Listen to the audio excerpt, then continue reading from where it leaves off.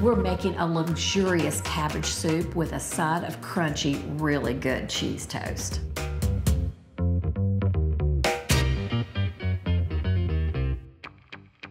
You know, sometimes sitting down to a bowl of homemade soup feels like having a meal with one of your best friends. It's comforting, it's there when you need it. We're gonna make a luxurious but simple cabbage soup today and serve it with a side of really good cheese toast. It's gonna be one of your new comforts, I promise.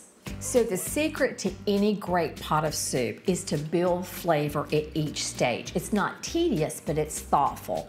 The first thing I'm gonna do for this great cabbage vegetable soup is I'm gonna soften up what is called a mirepoix. All that means is finely chopped carrot and onion and fennel in this case instead of celery. We want this just short of a paste because they're going to dissolve in the liquid and make this great flavorful base now, when you're softening vegetables, it's a great idea to always add a big healthy pinch of salt. Salt makes the vegetables release their own delicious juices and they'll get tender and release lots of flavor. Salt is a magic first step.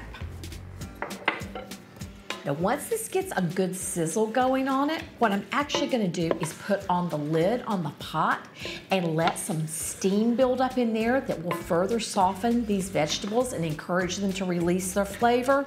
All in all, it's gonna take about five minutes. So it's been about five, six minutes, and what I have now is these vegetables have become very tender. They've not dissolved, but they've almost turned into a sauce. And now it's time for my tomato paste. This is a trick I learned years ago. It's a great thing to do when you're sauteing vegetables.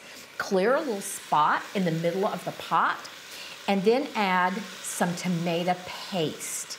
Now this is gonna give some flavor, but what this tomato paste is really doing is adding, believe it or not, some sweetness to these vegetables. And when you stir it in and get it against the bottom of the hot pot, it is quickly caramelizing and is going to add a tremendous amount of flavor to the base of this soup. It's a great trick. You can do this with other soup recipes as well. So when it's really well coated and you can hear the sizzle, it's time to put in the stock. Now you can easily keep this soup vegetable only and use a good high quality vegetable stock, or you can use chicken stock, whatever you have on hand. And give it a good stir. If there are any little bits of your vegetable mixture on the bottom of the pot, you're going to want to loosen these. And now it is time for our friend cabbage, the star of this show. Now today I'm using a Savoy cabbage, the one that has the wrinkly leaves, but any kind of cabbage is going to work. A familiar green cabbage, you could even use Napa cabbage, but I don't think that red cabbage is a great option for this recipe. It's gonna turn your soup kind of a ruddy color that's gonna be hard to explain.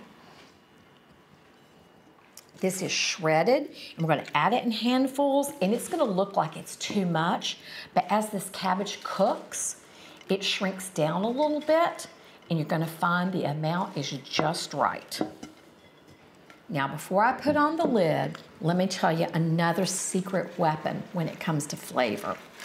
I have Parmesan cheese rinds. What is that? If you've ever seen a big wheel of Parmesan in the store, you'll know that the outer edge is really hard. It's too hard to grate up or to eat, but there is still flavor in here. And we're gonna drop these cheese rinds into the broth. It's like a cheese soup bone. It's meatless, but it's gonna add salt and flavor and richness and umami. And these things cost almost nothing. They're in the grocery store. They're a wonderful addition, a surprise flavor in a pot of vegetable soup. Chunk them right down in there. Put your lid back on, leaving it ajar just a little bit. And we're gonna simmer this until the cabbage is tender. There's a sweet spot in there. You don't want it crunchy. You don't want it too soft. When it's almost like al dente pasta, the cabbage is perfect. And then we'll move on to our final stage. You know, maybe the only thing better than a hunk of bread with a bowl of soup is some really good cheese toast, and this is good. Cheese toast is simple, but there are a couple of tricks that will make yours better than ever.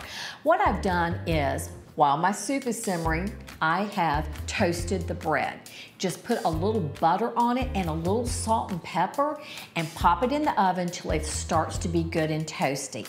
And now I'm gonna mix together my topping for it. I have here a mixture of coarsely shredded cheeses. You can use cheddar, Gouda, some Parmesan, whatever cheese you have on hand.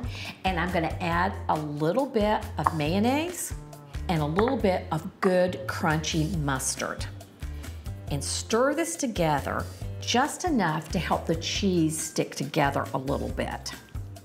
So once that is good and mixed and moist, you want to put it on top of your bread. You know what? Your fingers are probably the best way to do this.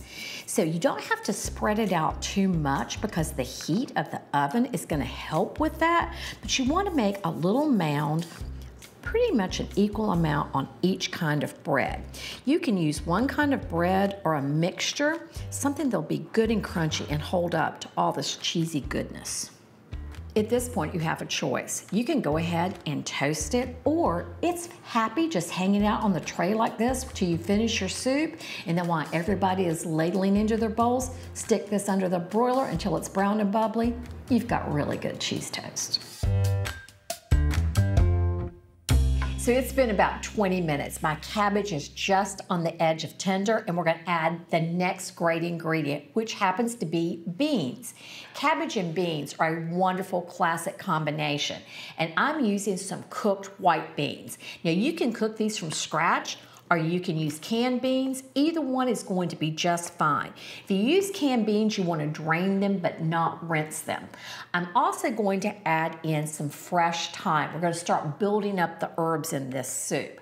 Now, like I said, cabbage and beans are a match made in heaven, but what if you don't have any beans? You can put something else in here. You could put pasta, even little raviolis, rice. It's your soup. You gotta do what makes sense to you. So now our soup is ready to go to the table. Just a couple of more little bits of flavor right at the very end.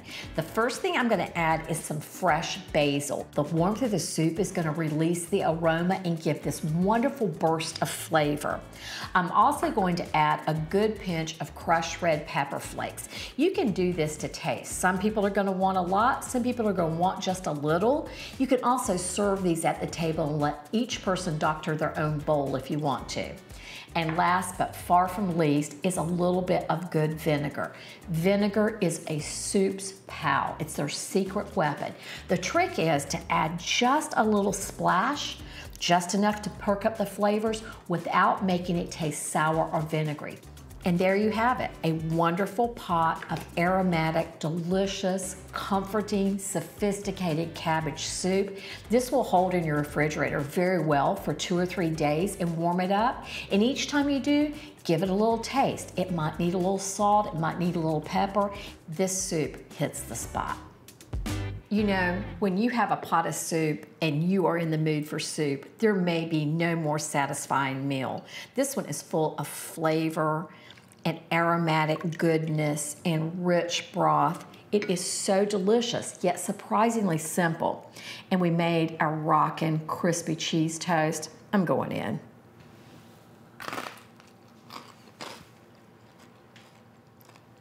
This is a keeper. You're gonna love this. I can't wait for you to make it.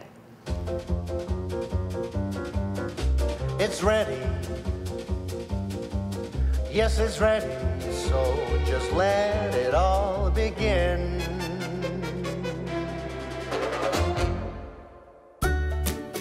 When I was a little girl, I remember seeing farmers and gardeners planting rows of those little leafy cabbage seedlings and then waiting for those big round cabbages to rise up out of the ground.